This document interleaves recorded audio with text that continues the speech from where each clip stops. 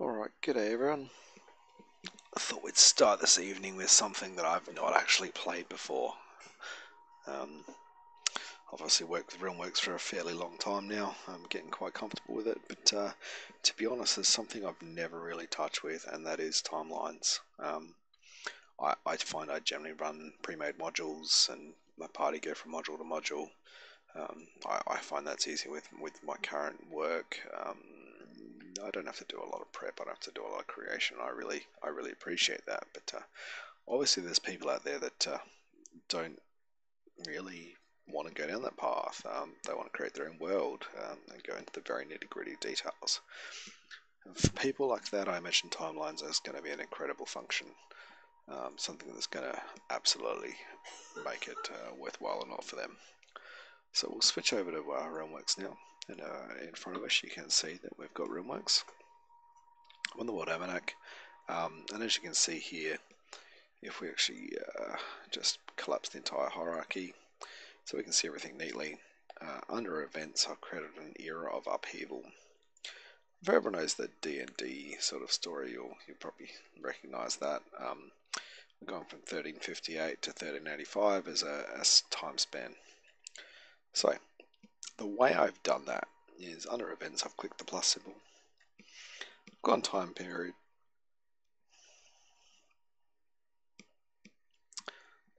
and that creates this, and I put my times, I put my name, and I put my details. I'm not going to save this because I've already done it, but you know that that's how hard it is to sort of set up a time period, and I use that as a top level sort of category. Um, what I would probably do 38 to 85 is come up here and actually just change that 1358 to 1385 and just set my prefix as that.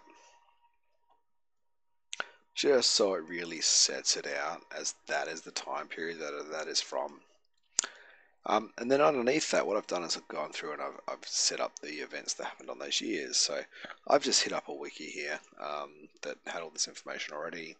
Uh, and you can see what's happened on each year. Um, I, you can see there's another sort of time span. This one, you know, went across more than one time span. Really sort of easy information to enter. And all you got to do is, you know, find your heading, right click, go create contain topic, and from there you can create an incident. Um, we can enter the event name and I'll enter event name just so you can see what I'm doing. Wait for it to create. And there you go you've got your event name. You know from here this happened on this date. You've got your drop down happened in 1358 you know we're from 1358 to 1385 so if we right click on January takes us back so we can select a different month. We'll right click again, different year. I'm going to go through 85. Let's say something happened in 84 in June on the 16th. There you go, there's your date. So it's pretty simple. You enter what happened, you save it. Um, personally, I've been entering a prefix, so here I would put in 1384 and click save and the prefix basically comes through and puts that in front here so that it basically uh, sorts everything. If you're not sorting that way, you want to click up here on this little button here. Um, you want to sort topics by prefix or alphabetically. I prefer prefix, which is the way I set everything up. It's completely up to you. I just find this is a neater way. Uh, and as you can see, it goes from start to end.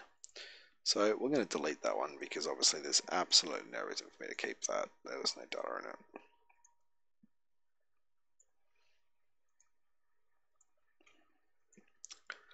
There we go. So that's gone. Um, and as you can see, there's different options.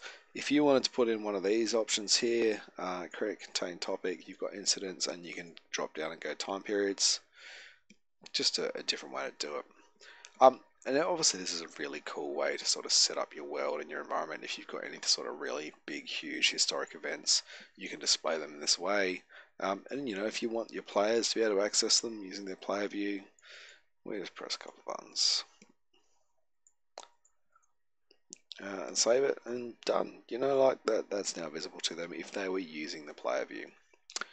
Now, that's simple. You can set up your major events, but you know, what if you want to show that your players have done something And, you know, maybe you're tracking every movement.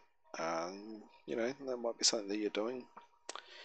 Um, so what I've done here is on Tomb of Horrors, you can see I've actually got players entered. So I'm just going to delete that and show you how I did it. From any snippet within Realm Works, anything, um, I've got an entry here. Tomb of Horrors, Weeby Goblins, let's say Tomb of Horrors. Alright, I've got this entry here, I'm going to edit that. I'm going to click this button here, I'm going to add section above this one, um, and that's just preference. I'd, you know, why not have it at the top instead of the bottom? Um, and you can add your, your sections, and you can add your sections below this one. Um, this is a topic one, so it's an overview. So I'm going to click on this one underneath and go add snippet above, and you see you get a lot more options here. Uh, we're going to do a calendar date. Uh, we're going to call it encountered. So my players encountered this dungeon on this day. Uh, 1384. Yeah, that makes about right. Let's say they entered on the 19th and they went in there.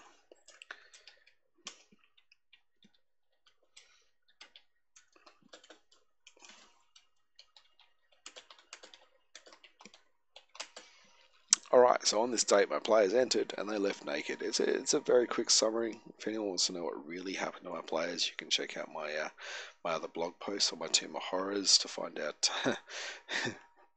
how my, sorry, it still makes me laugh, but uh, how my players wished themselves back to the entire starter, entire campaign and lost every single magic item and piece of value that they'd ever earned ever. So they, they happen on this day. Poor suckers. Um, count on this day, and I can save that into the snippet, right? And that's now saved. Um, and that's under any snippet that I do this under. Now the advantage here is that I can now come over here to my timeline and click this timeline button. And when you do that, you can see, boom, we've got a list of all of the timeline things that have occurred. Now, my only hate with this system, and I, I may be just uh, I've had a few glasses of wine, maybe I'm not seeing it. Um, is how to sort this by date. Um, I'm seeing first the first, 6th the 19th, blah, blah, blah. I'm Australian, so maybe I'm just doing it wrong, I don't know. Um, it doesn't seem to be sorting in the, the correct date range as far as I'm concerned. Um, you know, 1385, going back to 16, this uh, is just not sorting. But the point of the fact is that, you know, if you want to see when your players run Tomb of Horrors, you can see that quite quickly. If you want to see some massive big timeline events, you can see that quite quickly. Um, and if you were to set this up properly as you're going, you could really sort of configure your world and your environment to sort of have the date ranges that you're interested in seeing as you go. Um, and, you know, make this all visible to your players. Um, as simple as, you know, clicking the button clicking the encounter, blah blah.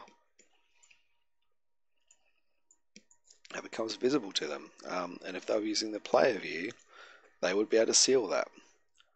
This is the player view, by the way. I don't know if I've, I've actually ever really shown this to anyone. Um, let's have a look. Let's see what it says. So we go back to the World Almanac. They should only ever see what is visible to them. And you can see I've made a few things visible. I can see the era. You can see some attempted coups. Oh, sorry. I think I actually dropped out there.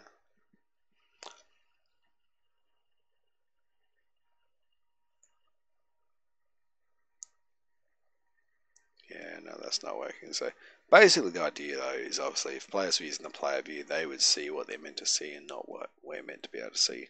On the GM, I've never messed around with player view. Um, my players don't really want to install an application. Um, we're hoping when WebView comes out, that's going to change everything, but we'll see. But anyway, you enter a date, you enter a time, you put it against something, and obviously it appears in the timeline. It's that simple, and that's the, you know, that's all there is to it. Um, I'm pretty sure some of you can look at that and go, "Wow, that's incredible." Now, what this functionality doesn't have is the ability to make a custom calendar. Um, I'm going to talk about that because I, have seen the angst in the uh, in the forums. I, have seen Lone Wolf come out to defend themselves. custom calendars are in the works, and I've heard that they're in the beta. I'm not personally a beta participant, but I've, I've heard there's people playing with it. Um, it's something that's coming, so you, you know your ability to create your own calendar system could be pretty absolutely massive for some people. Right now, all you've got access to is a Gregorian calendar. That may change in the future. I don't know.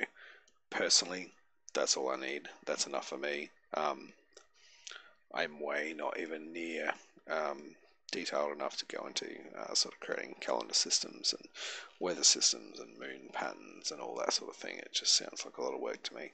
I like to copy off what already exists. But maybe this will uh, be something that uh, you'll be very keen on using.